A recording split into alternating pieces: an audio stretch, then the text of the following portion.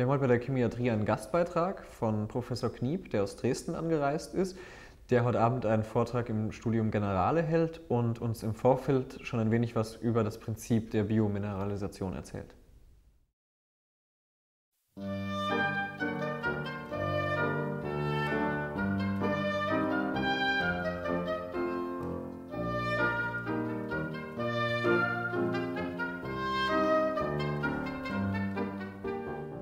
Also ich fange mal so an, dass ich äh, kurz erläutere, wie ich selbst mit dem Thema Biomineralisation äh, in Berührung gekommen bin.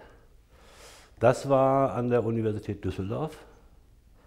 Die ist eigentlich weniger geprägt durch die Naturwissenschaften, vielmehr durch ein sehr großes Klinikum und eine sehr große äh, klinische Anstalt, die der Universität angeschlossen ist. Und ich war, glaube ich, frisch habilitiert. Und dann kam äh, in Düsseldorf und dann kam ein äh, Oberarzt der HNO-Klinik, Hals-Nasen-Ohren-Klinik, vorbei und sagte, ach, Sie haben doch gerade so ein kleines, schönes Gerät bekommen. Es handelte sich um ein Rasterelektronenmikroskop. Und ich habe hier von Tauben und Meerschweinchen so kleine Steinchen aus den Ohren. Und die sehen so aus, als ob die irgendwie angeschabt sind. Können Sie sich das nicht mal irgendwie angucken mit dem Rasterelektronenmikroskop? Und das haben wir auch gemacht. Und dann habe ich zunächst einmal nachgelesen, was das für Steinchen sind. Tatsächlich handelt es sich um kleinste Steinchen im Mikrometer-Maßstab, die im Wesentlichen aus Calciumcarbonat bestehen. Calciumcarbonat, etwa 95, 98 Prozent. Und die eine besondere Form haben. Und dazu, davon gibt es einige tausend. Jetzt gehen wir, die Menschen haben auch solche Steinchen, also diese Otokonien. Davon gibt es jeweils einige tausend in jeder Seite des Innenohrs, auch bei Menschen dienen dazu, dass sie, ähm, wenn sie linear beschleunigt werden, irgendwie eine bestimmte Bewegung machen. Und diese Bewegung, die die Steinchen dann machen, äh, auf einem Substrat, und da gibt es da unten drunter Härchen, die so als Nerven wirken, und dann geht das Ganze ins Auge, wird dem, äh, in, ins Hirn, wird mit dem Auge abgeglichen, und dann entscheiden sie eigenhändig, ob sie kotzen sollen oder nicht. Also wenn es zum Beispiel auf dem Dampfer hoch und runter geht, dann spielen die Verrückten, das kann das Auge nicht mehr abgleichen. So, es sind also letztendlich Sensoren, die auf Linearbeschleunigung wirken. Und die haben eine, wirklich eine besondere Form. Und das Ganze spielte jetzt nun vor gut 25 Jahren. Und das hat mich irgendwie gereizt. Von Hause aus bin ich nicht nur Chemiker, sondern auch Mineraloge, mich dann überhaupt mit dem Thema Biomineralisation zu beschäftigen. Und zwar im Wesentlichen auf einer Ebene, dass ich mich auf ähm, Biominerale äh, fixiere, die auch im Menschen eine Rolle spielen. Das fand ich dann am spannendsten. So, und dann haben wir als Menschen im Wesentlichen zwei Biominerale, Arten der Biominerale.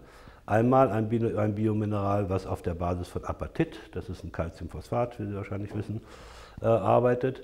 98% Apatit, nanostrukturiert und dann ist die organische Komponente, nämlich Kollagen oder Gelatine damit drin, 2,3 Gewichtsprozent. Und die Ohrsteinchen.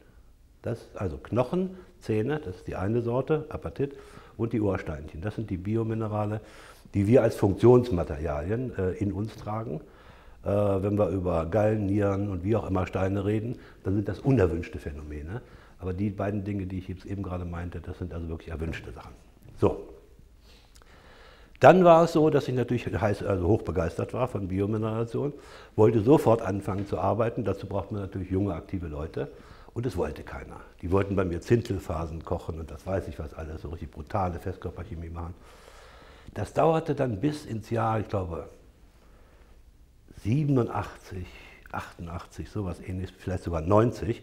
Da war ich zwischen, zwischenzeitlich dann schon in Darmstadt gelandet, am Zintel-Institut.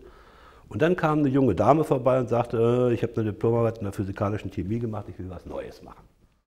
Und da habe ich gesagt, okay, Sie kommen zu mir, aber nur, wenn Sie ein Thema nehmen, was ich Ihnen sage und Sie sagen sofort ja. Und da habe ich gesagt, Biomineralisation und dann hat sie ja gesagt und war fertig. Ja? Also ich habe ihr keine Wahl mehr gelassen. So, und von da ab ging es dann los. Da sagen wir mal 94 vielleicht, haben wir etwa angefangen. So, was interessiert das den Chemiker? Äh, also Biomineralisation und Biominerale. Ähm, der Chemiker erstmal ist zunächst mal ubiquitär, der ist überall. Ihn interessiert alles, was Materialien und Stoffe sind.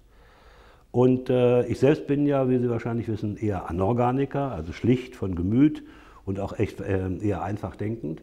Und wenn man Biomineralisation betreibt, dann sollte man das unter solchen Voraussetzungen, wenn man eher von der brutalen Seite kommt, machen, ohne dass man auch nur annähernd irgendwelche Zellen und Zellaktivitäten, also die Biologie, die muss man rausschmeißen. Das heißt, man sollte dann versuchen, Stoffpaare zu finden, die, und jetzt kommen schon die ersten wichtigen Worte, mit denen man heute auch bei Anträgen gut Geld holen kann, die zur Selbstorganisation neigen, die also alles, wenn man sie nur zusammenfügt in der richtigen Form und Art und Weise, alles selber machen. Und das über möglichst lange Zeiträume, also biologische äh, Perioden, sodass man dann immer zwischendurch eingreifen kann, kann sagen, halt, stopp und guckt sich an, was da passiert ist. Alles ist in dieser Ebene nanostrukturiert, da kommt der nächste, äh, der nächste Reizbegriff äh, dazu. Das heißt, wir haben Selbstorganisation, Nanostrukturierung, jetzt wird es noch spannender. Musterbildung. Ja? Alles, was Self-Assembly und ist und diese ganzen Sachen voll on the line der Chemiker. Äh, und jetzt eben so niedrig in der Komplexität, das ist auch ein wichtiges Wort, Komplexität, so niedrig, dass man das Ganze noch wirklich vom Atom bis in den mesoskopischen Bereich hin, was passiert, verstehen kann. So, und dann haben wir angefangen und dann war mein erster Gedanke, auf, an die Ohrsteinchen hatte ich erstmal gar nicht mehr gedacht, habe gesagt, okay, jetzt gehen wir auf das Stoffpaar Kollagen und Apatit. Ja, weil wir dann Knochenzähne in die Richtung schießen. Und dann ist es klar, oder wurde einem klar, ich musste natürlich erstmal viel lesen und lernen, weil das die ganze Medizin, Biologie, also highly interdisziplinär das Ganze äh, betrifft. Dann wurde einem natürlich schnell klar, dass man mit Kollagen nicht arbeiten kann, denn Kollagen ist eigentlich unlöslich. Es enthält ein Faserprotein in einer bestimmten Struktur. Äh, das ist gut, diese, diese tripelhelikalen äh, Proteine, die sind auch löslich, aber die sind im Kollagen mit Zuckern vernetzt. Und insofern können Sie die ins Wasser schmeißen, passiert gar nichts. Also, wenn man Selbstorganisationsprozesse machen will mit etwas Ähnlichem wie Kollagen, vergisst man zunächst mal die Zucker und kauft sich einfach, natürlich ein bisschen gute Qualität, kauft sich einfach Gelatine. Das ist nämlich denaturiertes Kollagen, die richtige Gelatine. Ja. So, und dann sagt man, ah, wie wollen wir das Ganze jetzt zusammenfügen? Das soll ja lange dauern. Wir machen es mal so, dass wir in einen zentralen Bereich einen Fropfen des Gelatine-Gels legen und dann von zwei Seiten einmal das eine Ion und dann die anderen Ionen. Also es wäre zum Beispiel jetzt zum Beispiel Calcium von der linken Seite reinschießen, physiologische ähm, Konzentration, alles ganz einfach. Und Phosphat, wir nehmen noch Fluorid dazu aus bestimmten Gründen. Das macht dem System aber nichts Böses, denn Fluorapatit ist genauso gut wie Hydroxylapatit zunächst mal. Und dann lässt man Phosphat, Fluorid und Calcium von der anderen Seite hinein diffundieren. Dann wird die Diffusionsgeschwindigkeit kontrolliert.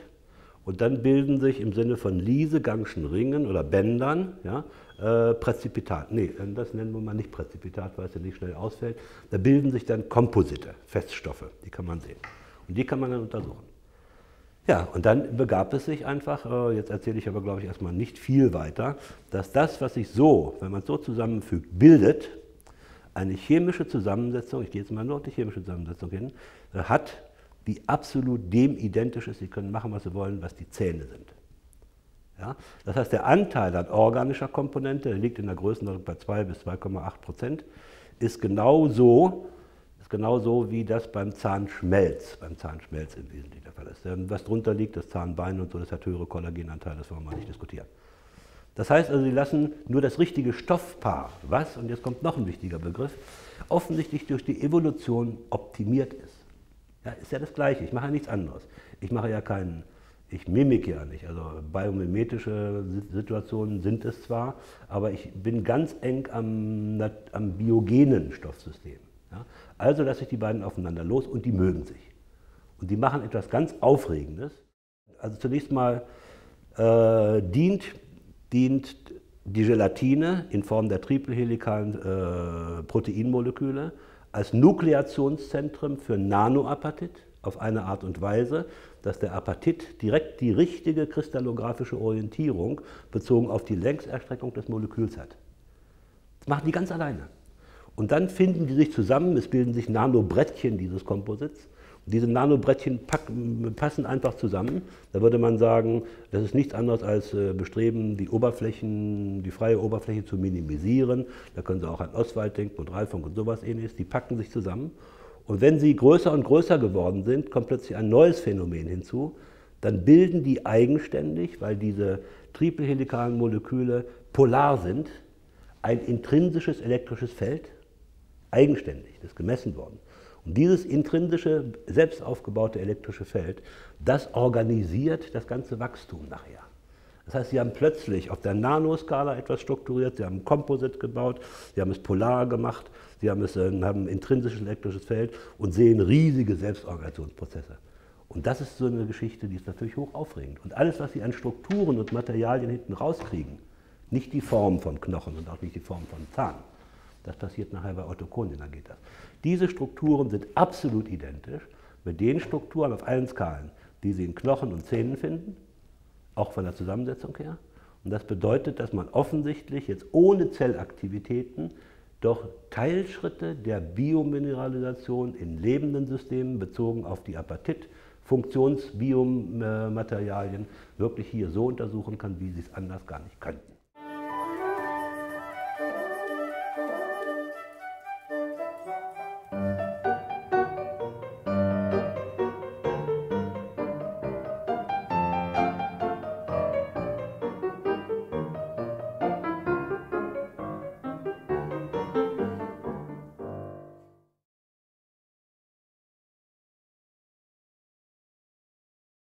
Extra angesetzt eben. Aus der Maschine oder selbst gekocht? Äh, aus der Maschine. Ja, aber selbst die Quantitäten zusammengestellt. Genau. Das haben sie gut gemacht.